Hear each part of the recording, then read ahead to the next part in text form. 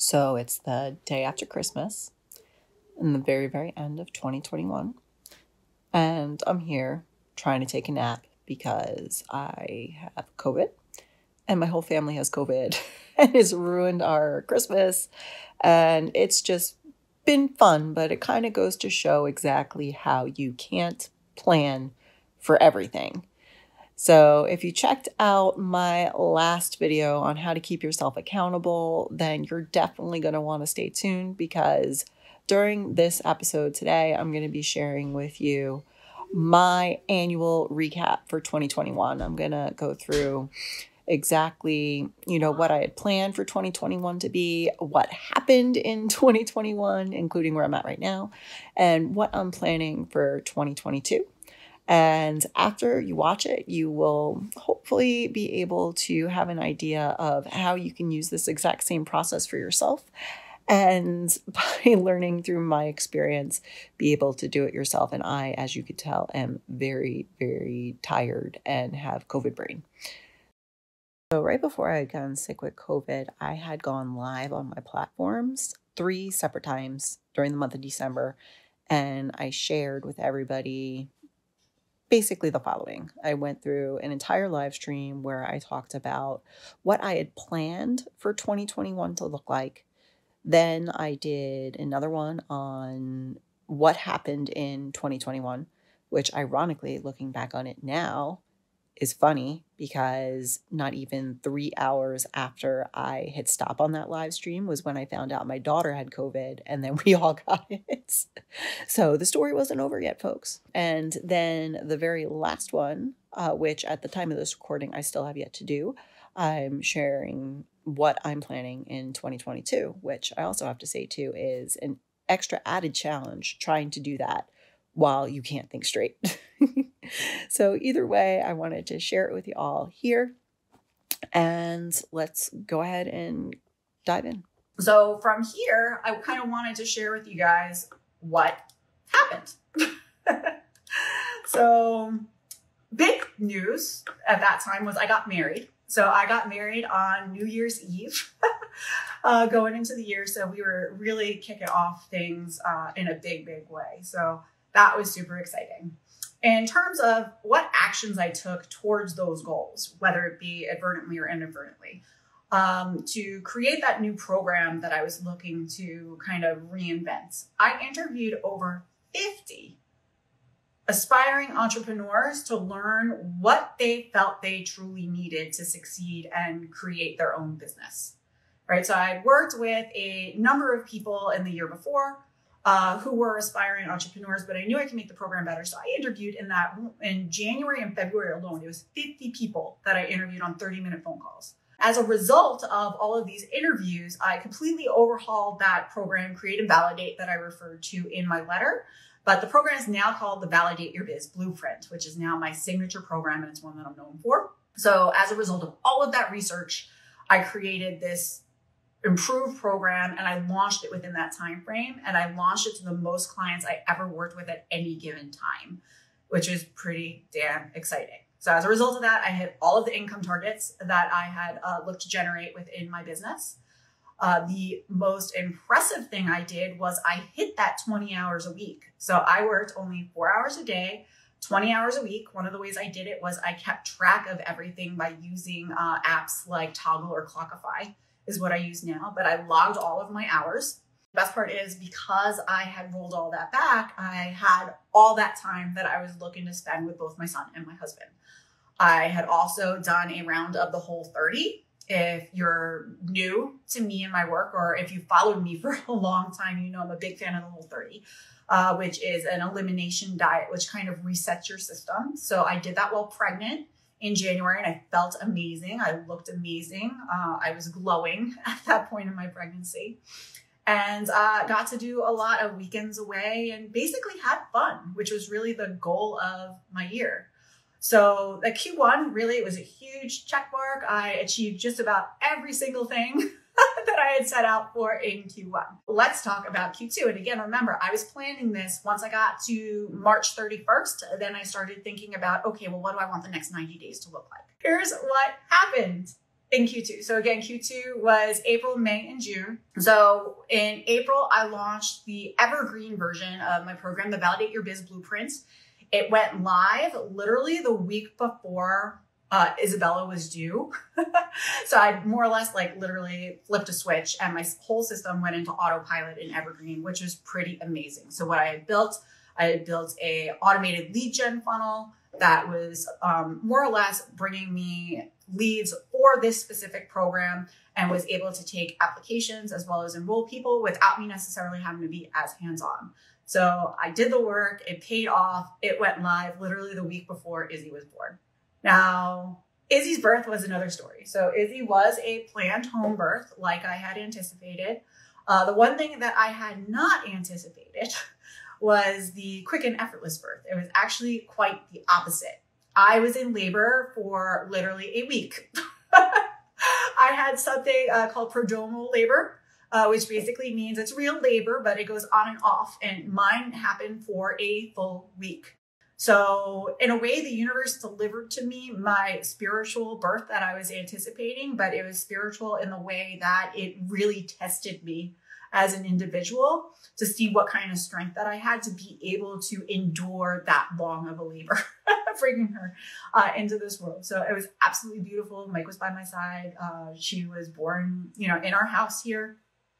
Uh, we got, you know, a whole blended family together of six total now uh, was finally complete and it was absolutely beautiful. So, like I said, everything with bringing Izzy into this world, it went exactly, it couldn't have gone better. I, I was, I'm getting like choked up even just talking about it now. Uh, so, one of the things that was great during this time was not only was I taking a full three months off from work, but Mike was as well. So, he had paternity leave from his job and he had two full months of paid paternity leave, which we had planned that he was going to take two weeks on, two weeks off uh, so that he was going to be available to be home um, with you know me and Izzy and the kids and everybody else.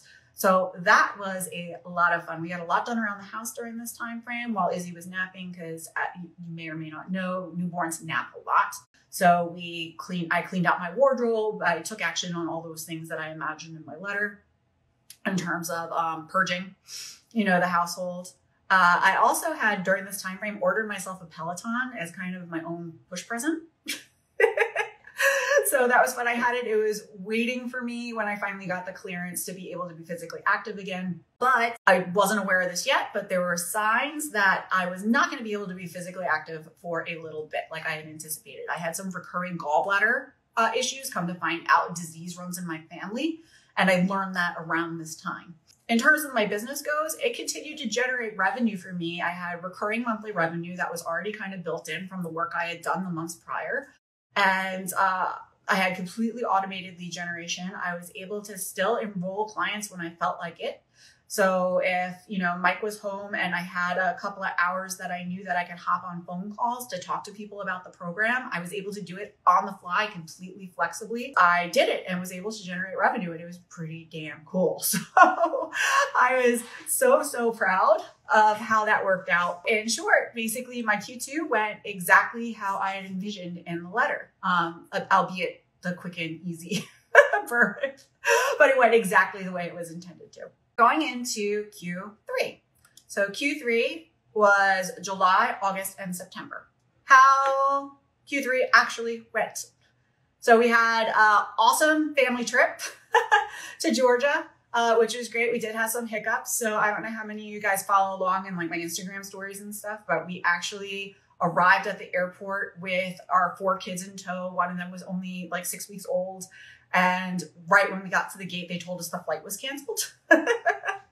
so that was a lot of fun, but it turned into a great trip and we got to see family. And it was the first time really out and traveling since the pandemic had happened. During that time, I also tested new routines, right? So a lot of them worked, a lot of them didn't uh, I was really finding it challenging to find time for myself, right? Adequate sleep, um, making sure that I had time to check in with my intuition. That was still a struggle and it was something I was still kind of working through. I did start to work again. Like I said, very slow on board in August it was a challenge, you know, figuring out how do I balance? I'm a full time caregiver, but I want to take a few hours to be on the phone. And the work that I do is very, you know, forward facing.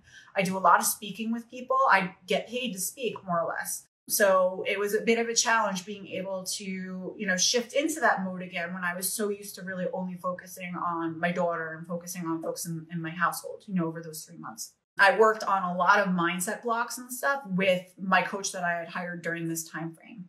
You know, and started thinking outwards, okay, well, how how do I how can I modify a lot of these things to be able to work for me instead of doing just blanket what everybody else does? in their business, right? So a lot of exploration during this time phase. One thing that was actually pretty cool, which is not anticipated at all. Uh, I was contacted by Jess Ekstrom's team. So if you guys haven't heard of Jess, Jess is the founder of Headbands of Hope, and uh, she is a very well regarded um, female keynote speaker. I had taken her program, um, Mic Drop Workshop, um, maybe two years before, and used the information I learned in that class to land my TED Talk right? So her team had actually proactively reached out to me. I, it was one of the first emails I saw in my inbox when I came back from maternity leave, inviting me to join her new program, which is called Mic Drop Academy. And I had zero plans at all within 2021 to do anything related to my pro speaking business. It was on hold at that point. I hadn't spoken, you know, professionally since I had been pregnant. There was the pandemic. There was so much stuff going on. But after discussing it with my husband, you know, we were both kind of in agreement that this was a really like amazing opportunity to get, you know, high level mentorship with not just her, but everybody on her team. And it made sense for me to kind of jump in to do it. So I did sign up for this program, completely not anticipated at all. Um, so I signed up for this and it was going to happen within Q4. One, another thing that was unanticipated, which sucked, was I did wind up having to have my gallbladder removed. So, as I mentioned in July ish, I started having some issues with my gallbladder. I ended up in the hospital once or twice with it. Uh, gallbladder disease runs in my family and come to find out after pregnancy. So, it was recommended to me to have it out.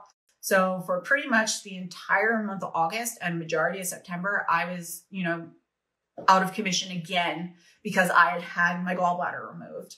So it was still difficult for me to achieve a lot of what I was looking forward to in terms of my physical health, you know, and physical fitness. Also, like I said too, I anticipated this in the letter that September was going to be interesting between, you know, my husband Mike going back to work and my son going back to school and just all those adjustments with routines and stuff with the new baby.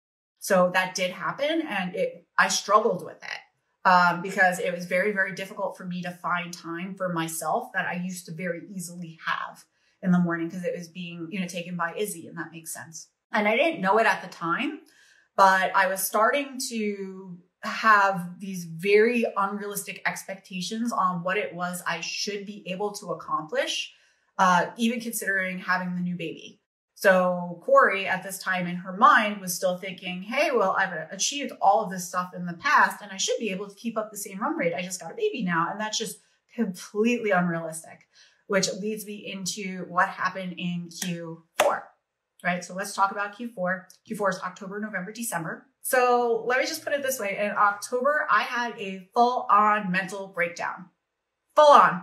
Just like, I, I'm not even sugarcoating it. I, had postpartum depression. I was setting very unrealistic expectations on myself. The accumulated lack of sleep since the baby arrived just completely did me in. So, after coming to that realization, it was then much easier for me to articulate what I needed, which I really needed space for myself. There's a few things that uh, I did, you know, with not just myself, but also with Mike's help and my family and other, um, you know, professionals, which I'm going to talk about in a minute to help make that happen. So, first is I realized that I had completely unrealistic expectations on my business. I had built it to that point myself, and that made sense, but I could not continue to run it full time at the same capacity I did before. So, one thing I did that actually articulating it now makes me really freaking proud of myself is I hired a team of four people and got them up and running in like a week. so I, I, worked as a senior vice president in a former role. So I was able to kind of flex my, my CEO muscles there a little bit. But yeah, I brought a team on and I did it really fast. And my team is awesome. If you guys are watching it today, thank you so much. Uh, love you guys. So I did bring on a team uh, right away. My team's helping me create content. The other thing that I did, you know, due to my my depression and my my lack of self care, was I was spending a lot of time online and I didn't realize it. So I was kind of uh, mindlessly scrolling and almost like becoming addicted to social media in a way. So one of the things that I did was I hired a digital wellness coach to help me kind of figure out my feelings surrounding it. Then led me, you know, to understanding some things about myself which were rooted in my childhood, which I decided I wanted to kind of take on in therapy. Um, because it all kind of tied together. So at this point, like I, I, mentioned, I hired a coach, you know, specifically to work on digital wellness habits and creating boundaries around my business, you know, because I do run a digital business. And I also enrolled myself back into therapy, working with somebody I've worked with for years and years and years to, um, you know, help explore some things I'd forgotten. Um, that, you know, being a new mother again kind of brought back to the surface. Mike jumped in and helping me make sure that we prioritize me getting time to myself. So we started a brand new routine in the morning when we both get up at the same time. We both get up at six. I was sleeping a bit later at that point, but we get up at six. I take time to exercise. I've been using the Peloton. I've been doing yoga. I meditate. I journal. Everything I listed in my letter that I wanted to do. I do that all within that hour, and he helps take care of the baby until she wakes up and is ready to get up. That's been working beautifully. I feel much more connected to my intuition and stuff again. And that's been beautiful. The other thing that happened during this time frame was I completed the Mic Drop Academy which was incredible. It was nothing I ever, like I said, anticipated doing. But now going into 2022, I have a formal uh, strategy. I have materials. I've got a team. I've got everything I need to make keynote speaking a major part of my 2022 revenue which is pretty damn cool. So I know in starting off this year, I was very, very focused on my Validate Your Biz Blueprint program. Going into 2022, you're going to see a lot more from me speaking about keynoting um, at, at, various events, which I think is really exciting. And it ties into my overall mission, which is to help people recognize and capitalize on their talents in the service of other people. Right. And I do this by motivating and inspiring people to take extraordinary action, regardless of what their circumstances is. And keynoting is a great way for me to be able to do that. So super excited. We also had regular date nights, uh, like I mentioned too, with the babysitting and so many different fun holiday activities you know, just even this past weekend, we took the kids to go see a light show. We had an ugly sweater party with all of our friends. Uh, we baked cookies with my family. It's been so awesome, and I've been fully present for all of it. So, pretty darn amazing. And I know I've shared a lot with you guys so far already. Uh, from the last live stream I did, where I talked about what my primary goals were for the year, here's what they were again, and we're to check them off one by one. So in my business, my primary goal was to streamline it. I wanted to create an evergreen lead gen funnel for one signature offer, which I did. I wanted to overhaul um, overhaul that program, make it the very best on the market, and turn it into a hybrid uh, online course group coaching program, which is what I did. And I wanted to work 20 hours a week doing it. Check, check, check. In terms of my relationships, quality time was very important for me in this year. I wanted to take a full three months off maternity leave. Check, did it. I wanted to feel more present with my family, right? For years and years, I struggled with workaholism, and this was going to be the year that I was really going to dig in and get to the root of it. The thing that's really fascinating to me, kind of recapping everything this way and sharing it with you guys, is I see now that a lot of what I experienced in this Q4 directly related to that right? So my little mental breakdown in October, it was directly tied with my workaholism. You know, and all these things that I knew at the very beginning of the year were things that I was going to want to address in this year. So the universe kind of delivered what I needed, just not on the timeline that I thought I was going to need it. But truth is, I, I do have a plan going into 2022 where we are addressing it, you know, at the root, you know, through therapy, through coaching, through a number of different things and changing my habits. And um, it's something I'm pretty excited about. So I'm going to check that one off too. In terms of health and wellness, which is very, very important to me too, I wanted an easy pregnancy and delivery, uh, which did happen. Uh, did it in that it took me a week to get my baby uh, to be born, but other than that, it went beautifully and exactly as anticipated. Everybody's happy and healthy. Uh, I wanted to be well rested and clear minded. It was a bit of a journey to get here today, but here I am at the very, very end of the year, exactly where I had anticipated being. And I wanted to look and feel good in clothing, which honestly, I do. I feel amazing. I'm probably 10 to 15 pounds heavier than I was before, but I just had a baby and I'm nursing. And I'm very, very happy with that. Uh, in terms of finances, that was on my list too. I wanted to build more wealth every month. I wanted to have consistent um, income and revenue, and I wanted to manifest 100K for the year. Uh, which truth was, I checked each and every one of those off. The 100K did not just come from my business, just to be transparent. It came from a variety of different revenue sources that I have. Uh, but it looks like I'm on track. I'm within, you know, a few digits of that at this point by the end of this year, and the year isn't over yet. And in terms of spirituality, that was important for me too. So I had three focuses for that. I wanted to be fully present in the moment, which it was a process over the course of the year, but I am there. I wanted to have uh, spend time having fun. Fun was my word of the year, so uh, definitely check that off and uh, I also noted I wanted to further develop my psychic abilities. Uh, I am a natural intuitive, and that is something that I still want to continue to work on. But what I've realized, is, and one of the reasons I had such difficulty in the second half of the year was I became so overcome by, you know, doing for other people and not taking care of myself and my own personal boundaries that I lost that connection to myself right? So by having that hour every single morning for myself now, where I journal, I write, I meditate, I try to go on hikes on a regular basis where I can be quiet with my own thoughts, that helps me tap into it. So in a way, I did kind of check that off, uh, but it just wasn't in the way that I'd initially anticipated. So that is it. So that was what happened for me in 2021. Next week, where I'm going to be sharing, going through my goal setting process for 2022. And then going into the new year, I'm going to be dropping these live streams once a month to share with you exactly what happened over the course of the month. Now, here's what's interesting.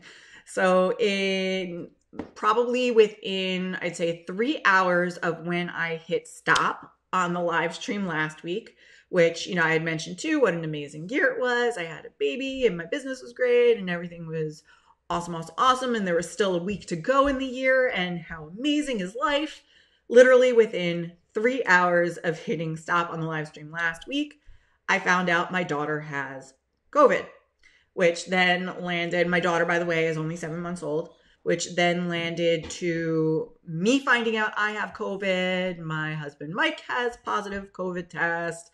My son does, our stepson. It's basically the whole family got it. um, it was actually all tied back to an ugly sweater party we had the weekend before last, basically everybody who came to our party got it, uh, despite how careful we all have been. And it has been a wild ride. So, with that said, today is the first day I am actually feeling good. Uh, I feel like myself. I showered, I put on makeup. So I am super excited to get to share with everybody, you know, what I'm actually planning for 2022. It's actually been nice to have a little extra downtime this week to be able to figure out what that is, even with the foggy COVID brain. So that's really what I'm going to be diving in and sharing with you guys today. But I did want to share, you know, what's happened since the last time we chatted because it really kind of goes to show you that you can plan for everything, but at the same time, you can't. No one ever could have planned that my whole family would get COVID, uh, that we would not be able to have Christmas with our families as we had originally were planning. But at the same time, it did ultimately end up kind of playing into some of the goals I had set for myself and how I had intended my 2021 to end. Most importantly, being spending time with my immediate family and getting to do kind of holiday things. So it had ended with us doing, you know, the, our, our ugly sweater party and having friends over and doing the holiday cookie baking and stuff like that. But what's been really, really kind of a silver lining with everything is getting to have time with my immediate family in quarantine right now.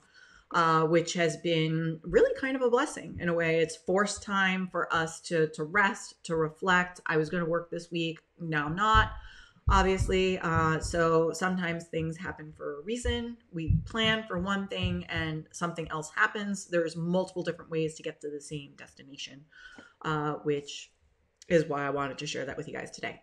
So, in sharing my big 2022 goals, five different pillars, you know, I've got in my relationships, I want to have people um, respect my time better. That's up to me. Obviously, I want to have a reliable Corrie Lo and Co team and I want to prioritize my relationship with myself as much as I do with other people. In terms of my business and my career, I intend to have a book deal accepted by the end of 2022. I intend to have my coaching revenue automated so that I can hire a full time salesperson come the middle of this year. And I want to start booking uh, keynote speaking gigs again, uh, which I had not been able to do due to the pandemic and my pregnancy over the last year and a half to two years. In terms of my health and my wellness, oh, I completely skipped that one. It's really not that important. uh, but I, I really, in terms of health and wellness, I want to be really kind of stay attuned to my body again. Um, eating intuitively, not restricting myself, um, very slowly getting back into movement again. So, really kind of listening to my body, but it really kind of all those intentions tie into the boundaries, you know, making time for myself and respecting myself. Um, so, don't need to go too far into that, but that's on that list because it's one of my priorities. For my finances, to recap, I'm not tracking revenue anymore. I'm just going to be making sure that um, every month I'm doing more than I did the month before. Uh, we're going to be renovating my home office here in the basement. So this whole space is going to get renovated into a formal uh, office slash studio. And I'm um, going to take two months off this summer to be able to spend time with my kids.